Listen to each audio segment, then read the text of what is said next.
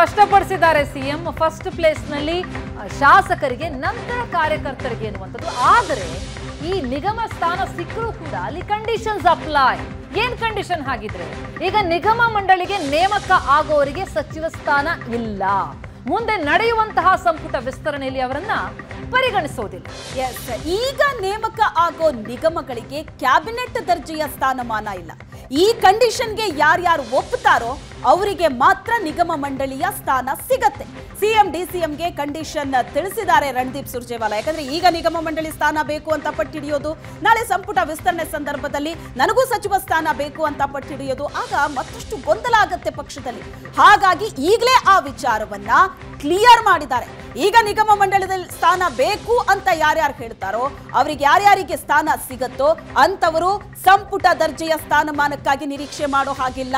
ನಾಳೆ ಸಂಪುಟ ವಿಸ್ತರಣೆ ಅಂದಾಗ್ಲೂ ಕೂಡ ಯಾರು ಖ್ಯಾತೆ ತೆಗೆಯೋ ಹಾಗಿಲ್ಲ. ಆಗ ಇನ್ನುಳಿದವರಿಗೆ ಸಚಿವ ಸ್ಥಾನ ಹಂಚೋದಕ್ಕೆ ನೀವು ಪೋಷಕರಾಗಲು ಕಾಯುತ್ತಿದ್ದೀರಾ? ಚಿಂತಿಸದಿರಿ. ಓಯಾಸಸ್ ಫರ್ಟಿಲಿಟಿ ತೊಂಬತ್ತು ಸಾವಿರ ದಂಪತಿಗಳ ಜೀವನದಲ್ಲಿ ಸಂತೋಷವನ್ನು ತಂದಿದೆ. Seven eight two five eight nine three six zero ಒನ್ಗೆ ಕರೆ ಮಾಡಿ. ಅತ್ಯದ್ಭುತ ರಿಯಾಯಿತಿ ಪಡೆಯಿರಿ. ಹಾಗೂ ಎಲ್ಲರಿಗೂ ಗುಡ್ ನ್ಯೂಸ್ ಕೊಡಿ.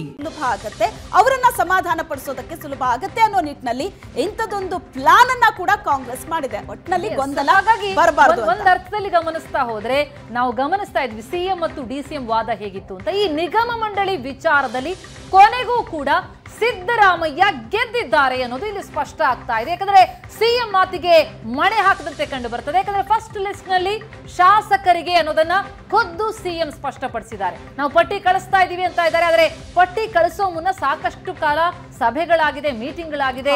ಆ ಮೀಟಿಂಗ್ ಅಲ್ಲಿ ಆದಂತಹ ಏನ್ ಚರ್ಚೆ ಆಗಿರ್ತದೆ ಅದರ ಫಲವಾಗಿಯೇ ಈ ಒಂದು ಡಿಸಿಷನ್ಗೆ ಬಂದಿರ್ತಾರೆ. ನಿನ್ನೆ ಸಭೆಯಲ್ಲಿ ಸಿಎಂ ಮಾತಿಗೆ ಸುರ್ಜೇವಾಲಾ ಕೂಡ ಒಪ್ಪಿಗೆಯನ್ನ ಕೊಟ್ಟಿದ್ದಾರೆ ಎನ್ನುವಂತಹ ತಾತ್ವಿಕ ಒಪ್ಪಿಗೆ ಸಿಕ್ಕ ಬಗ್ಗೆ ಮಾಹಿತಿ ಸಿಗ್ತಾರೆ ಎಸ್ ನಿಗಮ ಮಂಡಳಿ ಅಂದ ತಕ್ಷಣ ಕಾರ್ಯಕರ್ತರಿಗೂ ಸ್ಥಾನ ಸಿಗತ್ತೆ ಕನ್ಸಿಡರ್ ಮಾಡ್ತಾರೆ. ಅದರ ಜೊತೆ ಜೊತೆಗೆ ಶಾಸಕರಿಗೂ ಕೂಡ ಸಿಗತ್ತೆ ಅಂತ ಏನ್ ಹೇಳಲಾಗಿತ್ತು. ಸಿದ್ದರಾಮಯ್ಯನವರು ಈಗ ಅದನ್ನ ಬಹಳ ಕ್ಲಿಯರ್ ಆಗಿ ಹೇಳಿದ್ದಾರೆ. ಮೊದಲ ಪಟ್ಟಿ ಕಳಿಸಿದೀವಿ ಆದ್ರೆ ಅದರಲ್ಲಿ ಕೇವಲ ಶಾಸಕರಿಗೆ ಮಾತ್ರ ನಾವು ಅವಕಾಶ ಕೊಟ್ಟಿದ್ದೀವಿ ಅಂತ. ಹಾಗಾಗಿ ಈಗ ಎರಡನೇ ಪಟ್ಟಿ, ಮೂರನೇ ಪಟ್ಟಿ ಬರೋದಿದೆ. ಅದರಲ್ಲಿ ನಾವು ಕಾರ್ಯಕರ್ತರಿಗೆ ಅವಕಾಶವನ್ನ ಕೊಡ್ತೀವಿ ಅಂತ ಹೇಳ್ತಾ ಇದ್ದಾರೆ.